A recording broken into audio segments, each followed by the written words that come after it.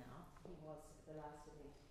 Uh, so this first work that we're going to play for you, uh, Island Songs, was written for the Kandinsky Ensemble, which was James and myself and clarinetist Richard Foreman in 1995. And uh, it was such a success, and we loved it so much that when we formed the Ogen Trio with Dimitri Atanassov, who's been the principal, the concertmaster of the AP, uh, John transcribed it for us for piano trio. And then, uh, well, actually, Dimitri wasn't the con- concertmaster at that time. When he became concertmaster and we were working in Hamilton, we were very lucky to be joined by Lara. So this, this has had a big life and uh, quite a strong life overseas as well. We, we play it all over the place. And uh, when we played it in Crete, o- opening the Crete Festival, it was the first piece we played on the first, the opening concert of this Kazakonetsa Festival in Crete. The audience got into rhythmic clapping and we almost couldn't carry on with the concert. um, the work's especially interesting because it's the first work in which John started to reflect some of his Greek heritage in his writing. And while it's not um, they're not actual reproductions of Greek dances, they're more his response to those Greek dances. So the first one is, has a sense of the potential in it, of something that's there and could develop. And the second one is from the really slow Zeibekiko dance, which is a, a mourning dance, actually, when you're in mourning. Um, and uh, is, is quite, has quite amazing effects, as you'll hear, with the cello and between cello and violin and piano. Uh, we kind of thought of it like a slow ouzo-induced dance. and the last, the, the last movements from the um, unfailingly infectious, lively Certo dance, and uh, rather like street musicians just vying with each other to do it faster and more interesting.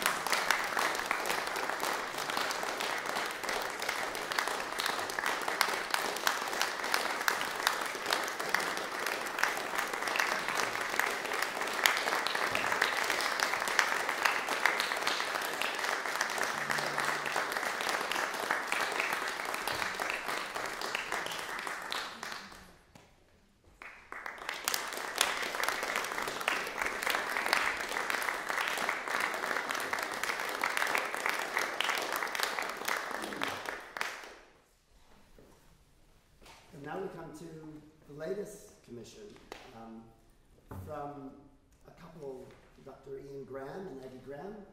They are um, originally from, well, Ian's from England, Aggie is, I don't know, Viennese, American. She's actually related to the Leher family. She's a great grandchild of, of a famous composer.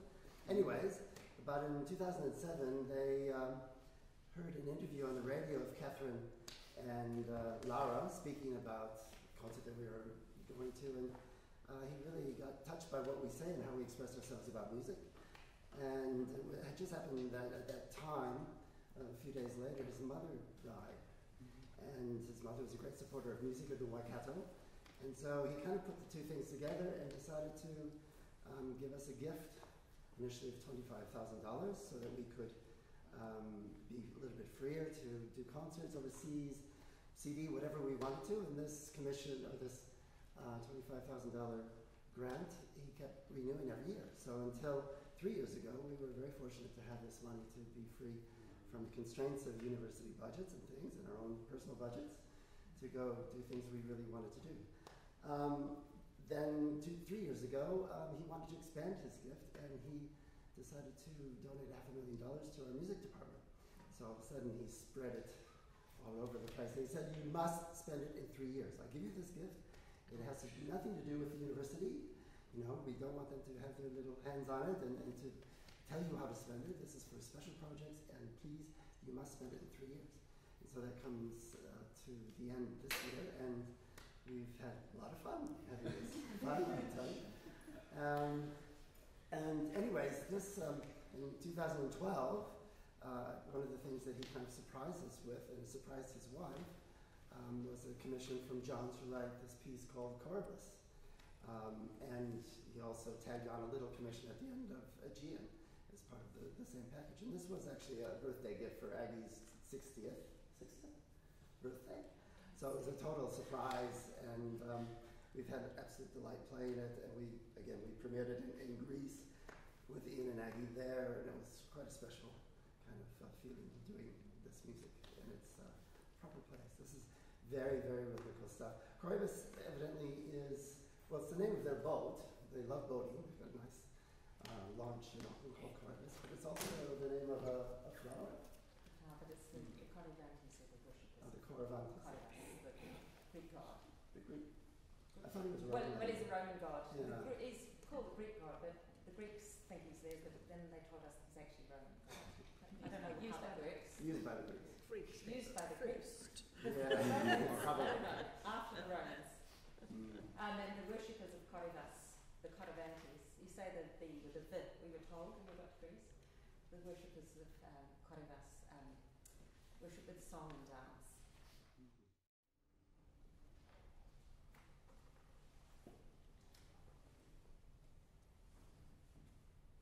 Thank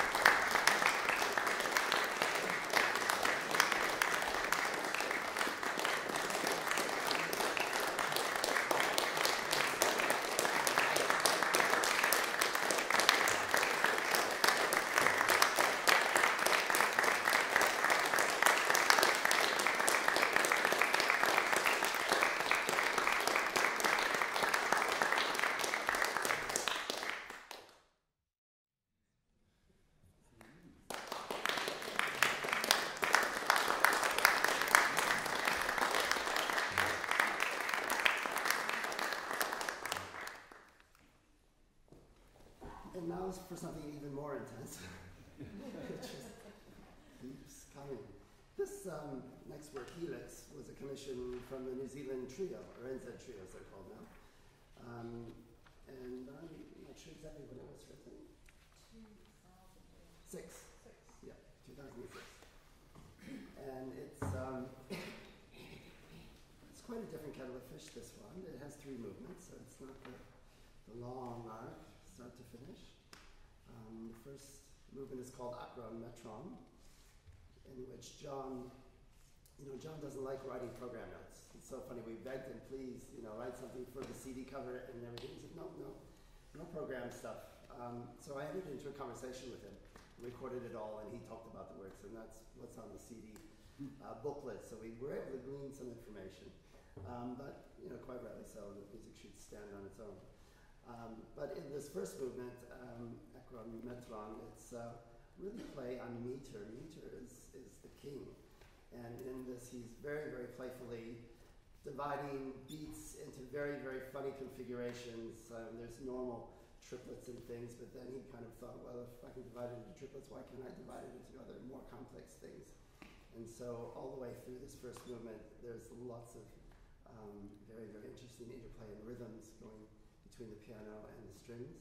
The second movement is called The Biggest Nothing of Them All. Um, it's actually a quote from the movie Apocalypse Now, where um, the French are handing over the Vietnam War to the American soldiers coming in, and um, they're sitting down talking about, about the war. And the French soldiers saying to the American, well, you know, war is, is, is, a nothing, and this war is the biggest nothing of them all. So it's more of a elegiac kind of movement, uh, kind of a statement about the futility of war, um, but very, very beautiful. There's a, a, a, very arrhythmic movement in the piano that just just hangs there below the surface, very unrhythmical, very, very mournful playing on top. It might sound unrhythmical, but it's very oh, rhythmically it's written. Nobin John. Intensely rhythmically written. And then the final movement is a tarantismo, which is based on the tarantella, the, the dance, which uh, you know, you could kind of say is, is the crazy dervish kind of dance that you do when you've gotten bitten by a snake or a spider and you want to get the venom out of you, so you go into this really, really crazy uh, dance to, especially with tarantulas, yeah. And there was also a, a time in Italy when uh, dance was forbidden. And so John was uh, very playfully um, allowed to uh, know that people went into this dance and always just claimed that they were bitten by a snake, whether they were or not, just so they could dance. So, uh, so this is um, the, the trio Helix, three movements. Amazing